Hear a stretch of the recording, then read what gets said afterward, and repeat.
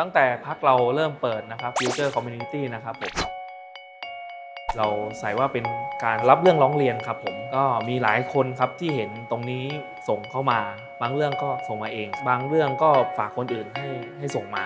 เมื่อเรารับเรื่องมาแล้ว เราต้องพยายามสื่อสารไปถึงผู้ร้องเรียนได้โดยตรงเพื่อจะ ให้เขารู้สึกว่าพักเราเนี่ยใส่ใจข้อร้องเรียนข้อร้องทุกข์ก็จะมีเคสที่ประชาชนร้องเรียนเข้ามาอย่างเช่นสะพานข้ามคลองโยงค่ะ ซึ่งเป็นสะพานที่เชื่อมระหว่างตำบลมหาสวัสดิ์และตำบลคลองโยงนะคะ ซึ่งชาวบ้านเนี่ยเร้องเรียนมาว่าสะพานผุพัง ก็มีการลงพื้นที่พูดคุยกับชาวบ้านนะคะ แล้วก็สอบถามไปยังองค์การบริหารส่วนจังหวัดทางอบจก็แจ้งว่าจะเข้ามาดำเนินการปรับปรุงให้ก็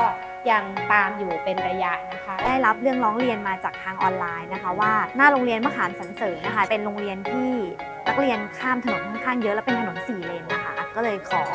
อยากได้สะพานลอย พอเล็กลงพื้นที่ใช่ไหมคะ แล้วก็นำเรื่องเข้ามาปรึกษาหารือในสภาค่ะ ตอนนี้เนี่ยเรื่องก็ถูกส่งไปยังหน่วยงานที่เกี่ยวข้องเรียบร้อยแล้ว ถนนที่เป็นลุมเป็นบ่อและก่อสร้างไม่เสร็จบ้านด่านยาว และก็ตำบลนาอุดมอำเภอที่พงศ์ช่อยจังหวัดมุกดาหารระยะทาง 17 กิโล ผมได้นำเสนอผ่านท่านประธานไปในการประชุมสภา ณวันนี้ปรับปรุงไปทำถนนทั้ง 17 กิโลตอนนี้กำลังดำเนินการอยู่ ตลาดนัดขนาดใหญ่แห่งหนึ่ง มีการขยายตลาด ซึ่งติดกับห้องของชาวบ้าน ไฟฝุ่นรถเสียงส่องไปรบกวนชาวบ้าน ซึ่งอยู่แถวละแวกดังกล่าวนั้นได้รับความเดือดร้อนตัวผมเอง ก็ได้เข้าไปคุยกับชาวบ้าน ได้ไปเชิญเจ้าของตลาดมาคุยกัน อยากจะให้การบังคับใช้กฎหมายถูกเป็นถูกเป็นผิด ให้ทางเขตดำเนินคดี ไม่ได้รับการก่อสร้างที่ถูกต้อง ก็ต้องรื้อถอน ก็ต้องดำเนินคดีต้องทำให้ถูกต้องทั้งหมด บางครั้งเรื่องหนึ่งเนี่ยมีหลายหน่วยงานที่รับผิดชอบ พอรู้ว่ามันมีชื่อหน่วยงานไหนบ้างเนี่ยเราก็วิ่งไปทุกหน่วยงาน พอในที่สุดแล้วเนี่ยเมื่อหาหน่วยงานที่รับผิดชอบหลักได้เนี่ยนะครับมันก็มันก็สามารถคลี่คลายได้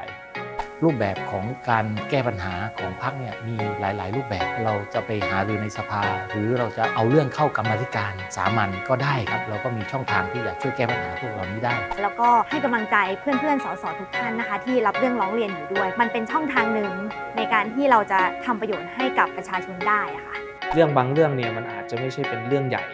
ะฮะ แต่มันเป็นเรื่องสำคัญในชีวิต มีอยู่คำหนึ่งซึ่งเป็นกำลังใจเรามากเลยครับ เวลาเราสื่อสารกลับไปเนี่ยพี่น้องประชาชนก็จะบอกว่าไม่เสียแรงที่เลือกพักอนาคตใหม่